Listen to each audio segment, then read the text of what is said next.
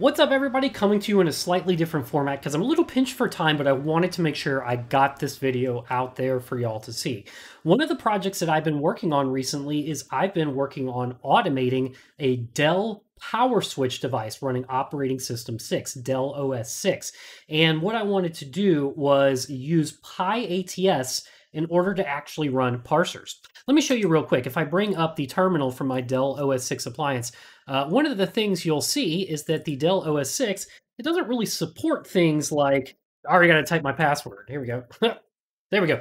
One of the things is is Dell OS 6 appliances are CLI based appliances. They don't have an API. They don't have netconf or so anything like that. Uh, so this is where PyATS could really come into play and help us develop automating solutions for platforms like Dell's Power Switch appliances.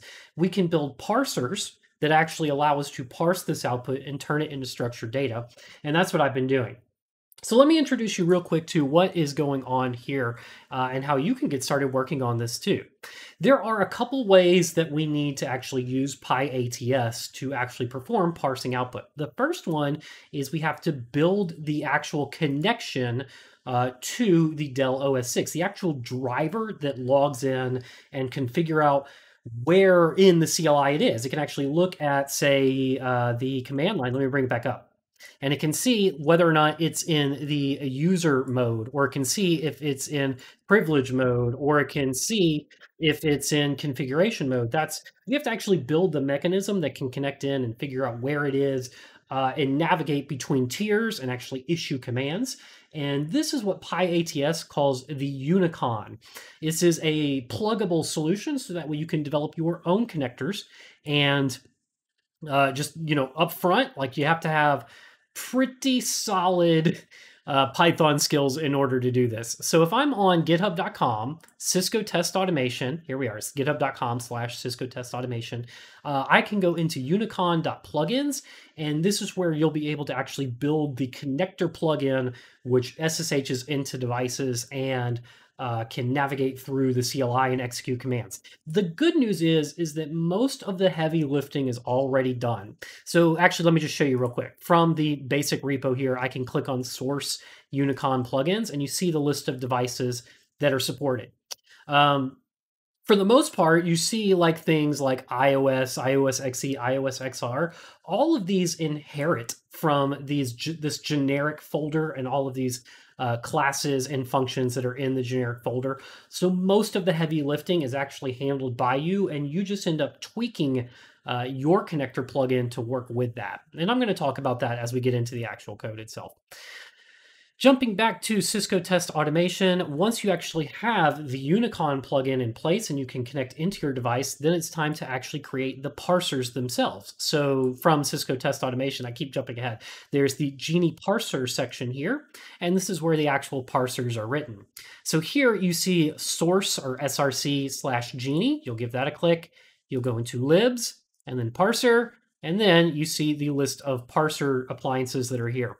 So we can take a look at something like iOS, and you see each of the commands that they've built the parsers for, right? Let's pick on something like show rip. And actually, that's it's pretty basic. Let's go back and pick on something a little more uh, in depth. How about show interface? That's going to be a good one. Yeah, here we go. Lots of classes here. Um, in fact, it looks like it actually inherits uh, its configuration from show interfaces iOS XE, so that's another bad example. we'll find a good one here, I promise. Uh, show spanning tree? Nope, still inheriting. Okay, well, we'll get to it. Don't worry about it. Parsers, are, this is where this comes in. So when you want to build your own plugin or your own parser, uh, this is this is going to be your starting point is github.com slash cisco test automation so the way this works is you basically clone these repositories to your own github account and then you can make changes on your own account and then you ask them to pull your changes in and that's what i've done with unicon at least so let's take Unicon for example. We go into Unicon, and then up here in the top right example, you see a fork button. When you click that, it takes a copy of it, from Cisco Test Automation and puts it on your own account. You have forked the code. And now you can make changes to it on your own account. And when you're done, you create a pull request to ask them to pull your changes back into the main. So if we actually go to my account real quick, I'll go to github.com slash data Knox. I'll go into my repositories. You see I've got Unicon plugins and Genie Parser already here. It's because I forked it. And it says right here in the little text, uh, forked from, oh, let me hit back because that was a link. Uh, it says forked from Cisco Test Automation Unicon plugins and forked from Cisco Test Automation Genie Parser. So when I go into Unicon plugins now, and I go into source Unicon plugins, now we see my Dell OS 6 folder here and the scripts and code that I writ, wrote to make the Unicon plugin for Dell OS 6. Uh, if you click on it, you can see this is where I wrote it. I put my little author there section. Um, largely inspired by the Unicon plugin example. So uh, now's where we're going to actually get into the, the, We've talked about what we're going to do, where I was creating the Dell uh, OS 6 Unicon plugin as well as parsers. Now we're actually going to get into how you can do it too. First things first, I use the PyATS Docker container for my development. If you watch other people's guides or read through documentation, they'll tell you to use a virtual environment. I absolutely could not get that to work uh, on both Windows or WSL. Um, inexplicable why. Uh, so I just did it all in a Docker container.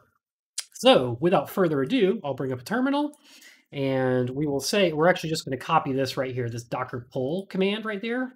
Pull command copied, Windows terminal, and pull it. So it's going to download this Docker container, um, finds out that a lot of it already exists, which is pretty cool. Um, this is going to get the latest version of it. And there we go. So it is now pulled. So here's what I am going to do. We're going to say docker run I'm going to say I want it detached and interactive. That way VS Code can connect to it and we can do our automation and work with it there. Uh, we'll say, I'm going to give it a name. We'll call it like mm, PyATS dev. And then we will run this container here. Going to copy it and paste it. Cisco Test Automation PyATS late. And I'm going to tell it enter in the bash mode. So I press enter there, and now the container's up and running. So we got a little bit of work to do now to uh, set up this environment.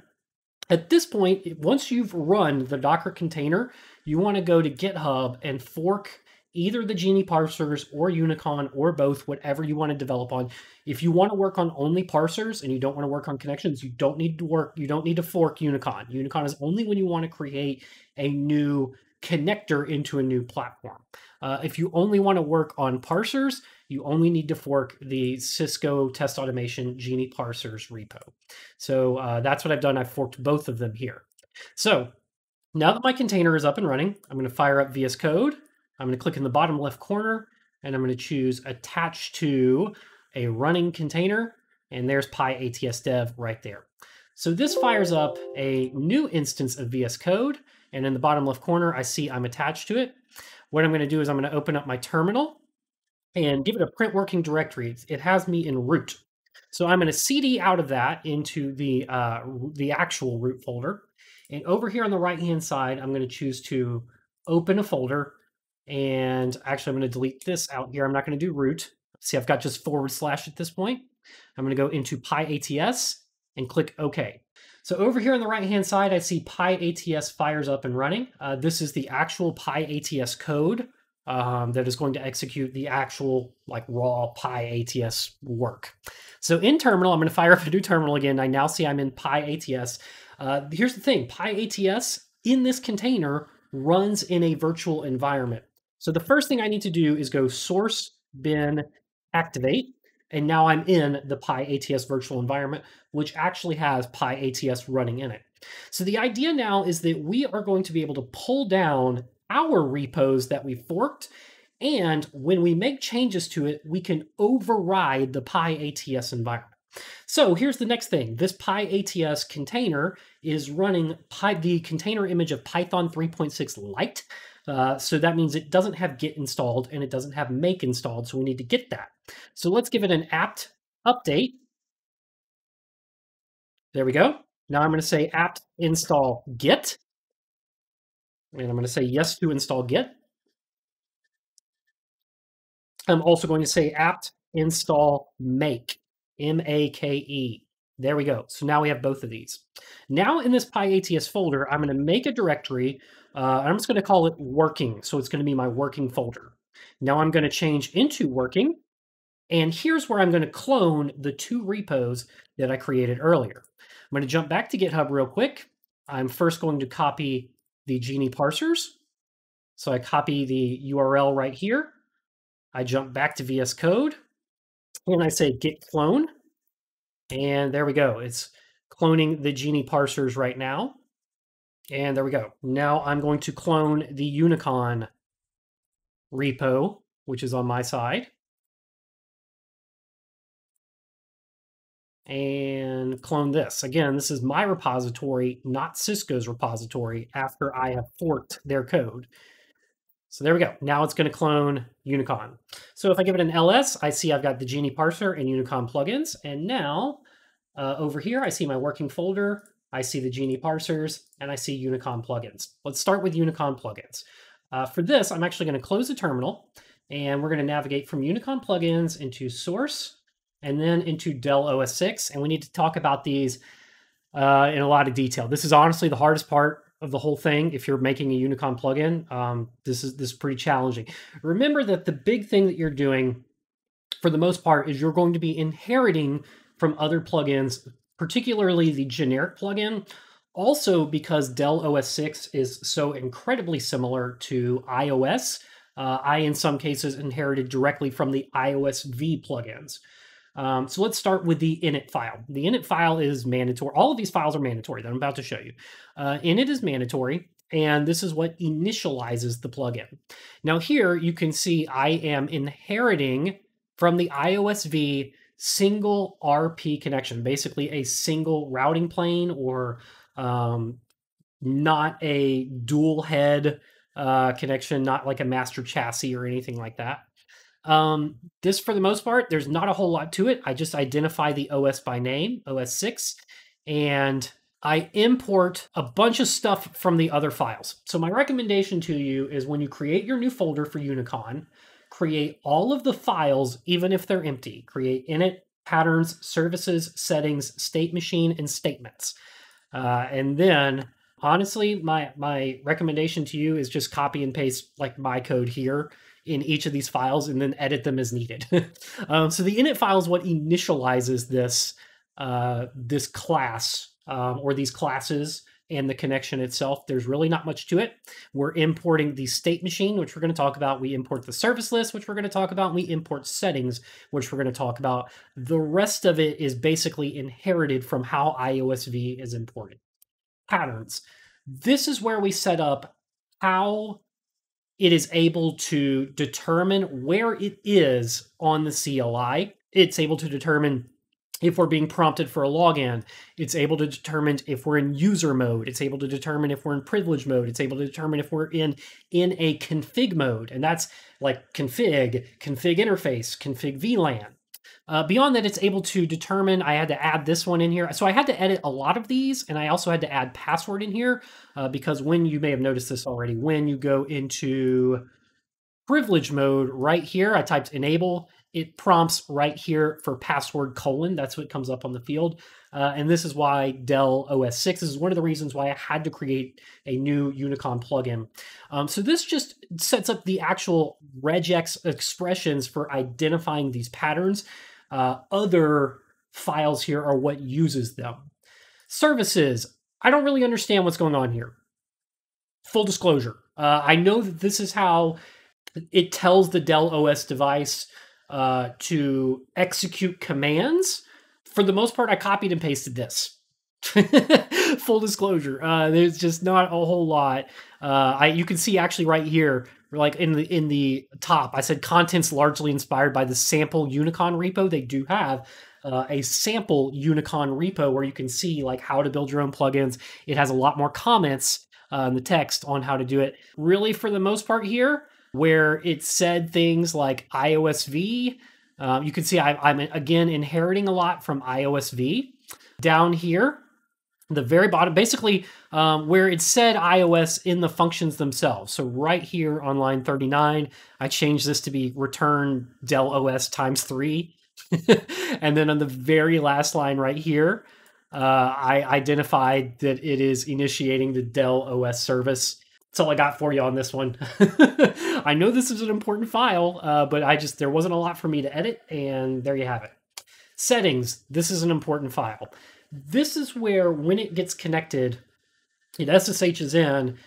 Under the hood, when it SSHs in, it enters a series of commands. So in this case, in my case, it enters terminal length zero. If you were to just like inherit from the generic class and not change anything, it would try and do terminal width zero. Uh, it would try to go into configuration mode. That's what HA init config commands does. So you, you see we've got the init exec commands. In exec in privilege mode, it's going to execute these commands to set up the session before it sends in like your CLI commands or your parser commands that you want. So terminal length zero, that means we don't want it to have prompt for more. We don't want paging. We want it to just send the whole thing. Um, and that's that's what terminal length zero does. Uh, there is no terminal width zero on Dell, and there is no line VTY04, and there is no exec timeout command. So uh, I had to change these in the Dell OS settings to work there.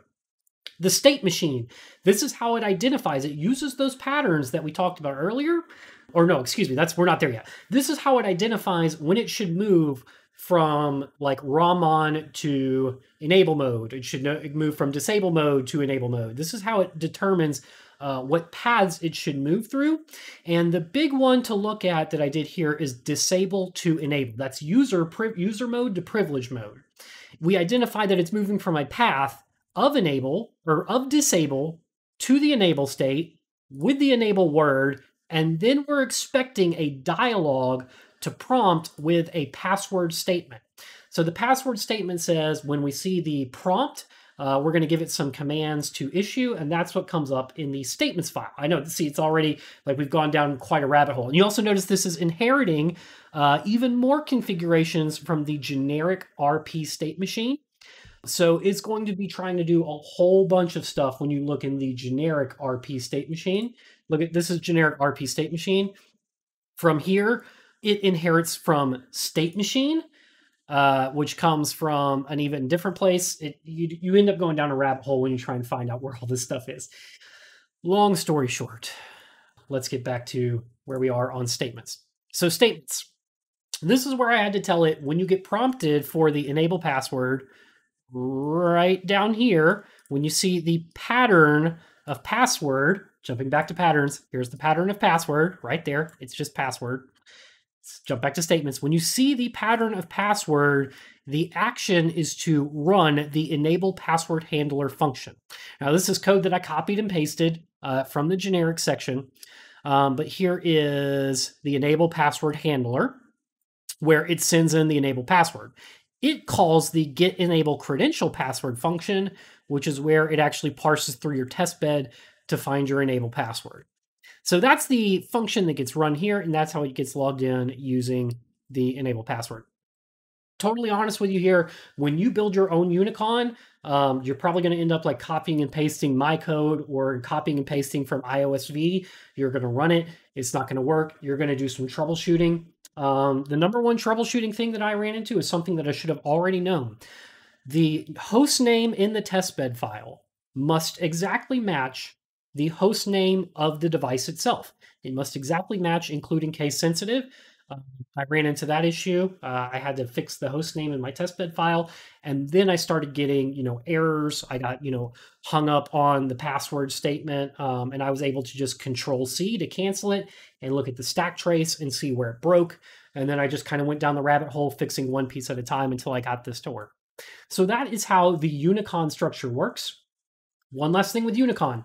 Uh, if you look over here in the folder structure, down here underneath Windows, there is an init, and you want to make sure you tack yours on, your supported OS, uh, to the init file there. So uh, at this point, I've made all of my changes here to the code. I go to GitHub, and I push uh, my code into the actual repository itself, back into GitHub. So here I am, I'm back in my code. Um, and this is the DataKnox Unicon plugins. From here, I can go to pull request. If I do no, new pull request right here, notice it automatically detects the base repository was from Cisco Test Automation, and it shows me what all has changed and what all I've added to this repo. From here, you click View Pull Request, and it will actually tell you if there's any conflicts. Right here, you can see it tells you it's able to merge. And then you add comments in to your pull request telling them why Cisco should pull your changes into the Unicon repo. So that sets up the Unicon connection. And at this point, uh, you're done working on Unicon. Uh, it's time to move on to the parsers themselves. Real quick, if you want to find a quick way to get to the Unicon plugins, um, of course it's in my code. You can also Google Unicon PyPI and it will have a link there. But yeah, this is the quick way to get there. Uh, it's right there. If you just look in my code in my repository, in the comments, it's got this link right here and that'll get you there. Okay, now to the parser. This is the part you probably have been caring about.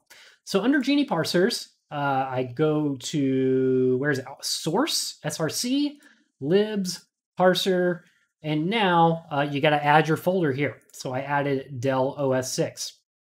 So um, first thing is you need an init one more time, uh, init.py, and it needs to have this code in there from Genie import abstract, abstract declare token name. So you need to have that. Make sure you've got your init.py in your folder. Uh, if you're already working with like an existing platform like iOS XE, it's already going to be there. Don't worry about it. Um, so from here, uh, now we're going to do, we create our, our code. So there's really two components to building a parser. First of all, you have to have all of these from and import statements right here. And there's two components. The first one is the schema. So I'm trying to create a parser for the command show version here. So I create a class called show version schema. It inherits from meta parser. Then I create a class called show version and it inherits from show version schema. So the schema uh, is what we're going to say the exact output should look like. Uh, we identify the keys right here, and then we identify what data type they should have. In my case, these are all strings. Um, if we look at other ones like show IP route, I identify a key of routes. Then any which means this could be anything. The, the, next key could be anything. We're going to dynamically create that key on the fly. Uh, but you can see I've got string as a data type, boolean as a data type, and integers as a data type here. So let's jump back to the show version. Uh, so this sets up the actual schema of what I should expect. Here's how I actually did this. I have saved the schema for last. Um, I created my parser first, which is, uh, oops, which is what we did down here. Uh, and then I came back to it after the fact and created the schema. So that's what I'd recommend you do is start actually with the parser. So the first thing in the parser is we specify the CLI command that is going to actually be run uh, when the parser is called.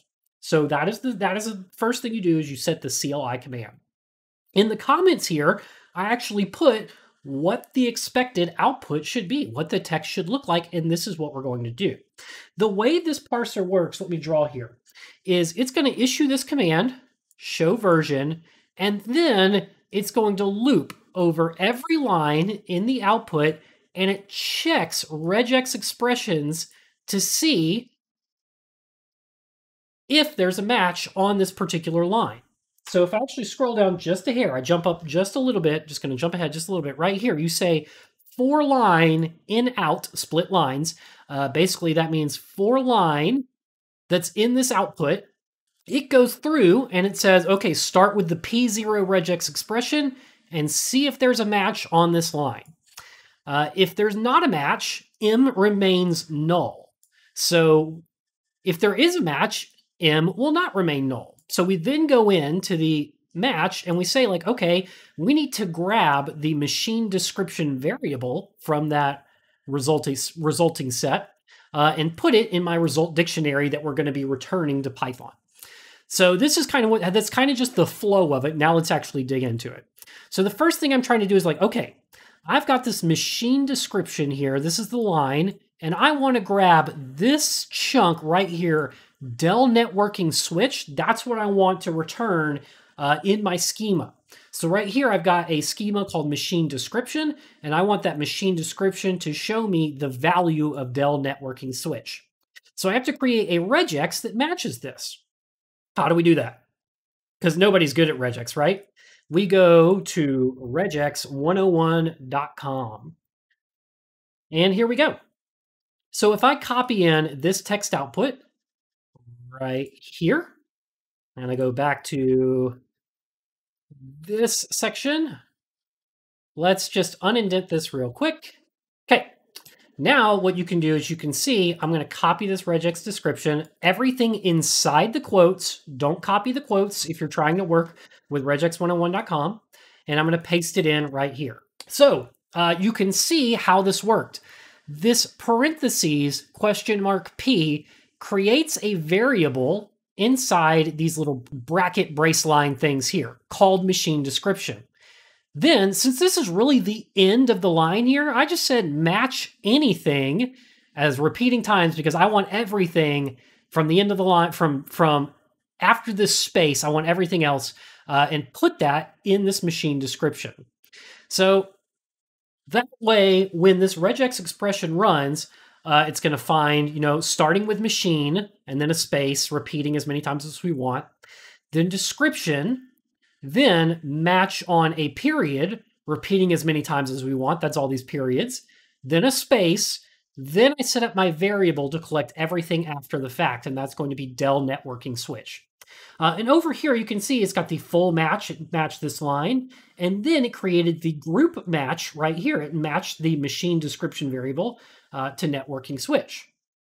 The, the same thing kind of goes for any of these lines here. For instance, let's grab uh, the burned in address, the MAC address here. So if I grab this line right here, go back to regex 101, paste this in, you can see it jumps down here, and it kind of follows the exact same pattern again, where it matches burned in a space, in in a space, MAC in a space, address, uh, and then repeats as many times as we want. Um, the periods, and then a space, and then everything after the space uh, is the burned in address. So this is how uh, you set up your regex expressions uh, and kind of use the regex cheat sheet. I'm not good at regex. I used a regex cheat sheet. The big thing here is just keep in mind that this parentheses question mark P is what creates your variable uh, that it's going to be looking for. And then within the parentheses, whatever comes after this little brace, that's what it's trying to match on for that variable. So all of these things, we have uh, for each one of these lines in this output where there's data that I care about, I created a regex expression. Then it loops over each line and it tries to match that regex expression. And if there's a match, we use the group dict uh, little parser function method thing here and specify the key that we're looking for. Uh, so in this case, P0 was matching machine description. And when it matches, it's going to be holding that machine description value in m.groupdict machine description. Now this line right here on 100 to 101, uh, this is if version is not in version dict. You see I created a version dict and a result dict. Uh, what that does is this version dict dot set default version with an open dictionary that creates this first key of version with an open dictionary. The result dict after that is everything contained within version. So when you look at these parsers down here, you see all of these things are setting result dict machine description, result dict model, result dict machine type. Uh, that result dict is everything contained within version. Uh, and I'm just setting the keys here. So that's how uh, I created the parser with uh, starting off with the version key. So the same drill here again is, is once you're done creating your parser, there's, there's a couple things you need to do. Uh, you need to go into the change log and go into undistributed. And you can see uh, here's where we can go ahead and add just a change log about what we've made. So if I take a look here, uh, it's pretty straightforward, the format. They all look like this. See? We just say what the vendor is that we're doing. In my case, it would be Dell OS 6. We have a small description. Did we add something? Did we change something? And then what is the actual change itself or the addition that we've done here. So add your change logs in. Then once it's all done, you commit it back to GitHub, back up here. Oh, did I close out of GitHub? GitHub. And you go back into your repositories and you go into Genie Parser and then you create another pull request. So there we go. Uh, here we go. I'm again able to merge. Uh, there's no conflicts. There's my code changes that are all listed here. Um, make sure you take your test bed out if you've accidentally got it in the same repo. Uh, just take that out and send in uh, your pull request for your parser. So there you go. That's how I went about creating the Dell OS 6 Unicon plugin, as well as some Genie parsers. Let me know what y'all think if I need to go into more detail on this, um, or if that was sufficient enough to get you started. Um, yeah, there you go.